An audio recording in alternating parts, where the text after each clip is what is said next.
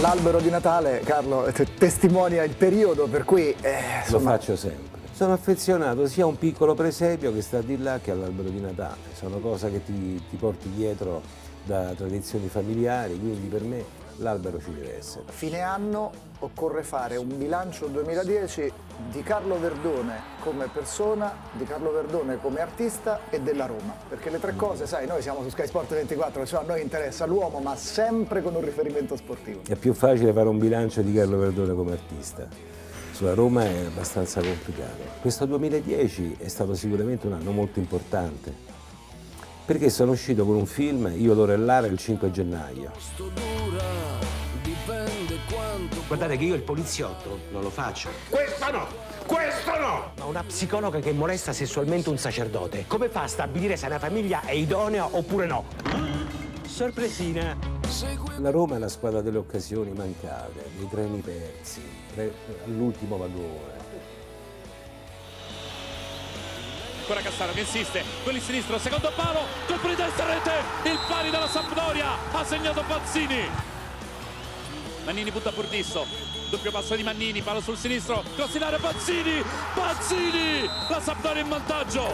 Perché sei sicura di qualcosa. In questo momento la Roma non ha società. Credo che sia come un regista che sta facendo il film e non ha un produttore, non ha una, una distribuzione forte. Mi pare che sono due anni che stiamo, stiamo così. Secondo me l'altro anno è stato fatto un miracolo Inter-Bayern come la finale dello scorso anno, la Roma contro lo Shakhtar che Carlo tra guarda, voglio ecco, dire meglio di così ti ho portato bene, di la verità eh, che Sky Sport 24 ti ha portato bene. Forse ti ho portato, be ho portato bene pure io i romanisti, eh. dai, abbiamo parlato della Roma.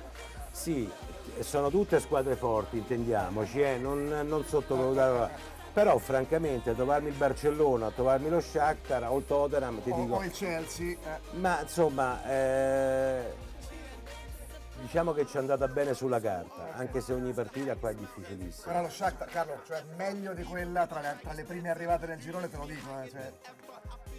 Posso dire una parola? Eh. Almeno finalmente un po' di culo alla Roma, un pochino, ma un pochino. Sei del partito di quelli che totti sempre e comunque oppure lo devi Guarda, disciplinare, lo, lo devi centellinare? Io non, non mi posso mettere a fare l'allenatore perché non lo so, francamente.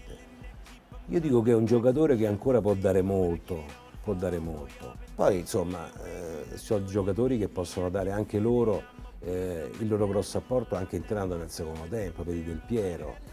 E spesso e volentieri è risolutivo, anche entrando nel secondo non è un'onta, non è un'onta.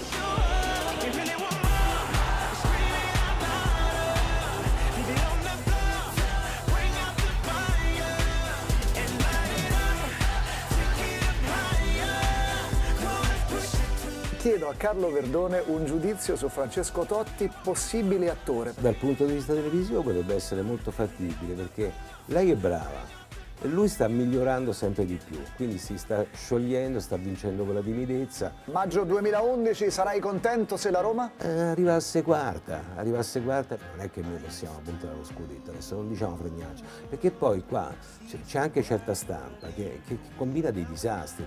Bastano tre vittorie di seguito, una per 1-0, una per un rigore, un'altra per un rigore e un gol di un difensore. Scudetto, ecco, quella è la cosa peggiore che tu puoi fare alla squadra. No, scudetto umiltà. Umiltà e andare avanti, magari per un, per un, si punta almeno a un quarto posto. Poi se arriva il terzo siamo tutti felici, se arriva il secondo siamo ancora più felici, arriva il primo mi sembra molto complicato, cerchiamo di essere molto pragmatici, dai, su. 15 eh, febbraio, quando ricomincia la Champions, più o meno metà febbraio, la Roma, se recupera tutti, se recupera Totti, con Borriello al massimo, potrebbe diventare la mina vagante di questa Champions, potrebbe venire fuori... Guarda, tu hai citato questi giocatori, sì, se Totti torna eh, sicuramente, ma se esplode Menez...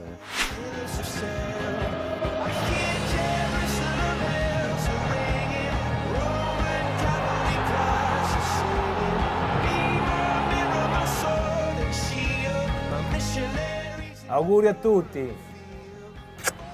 E a presto.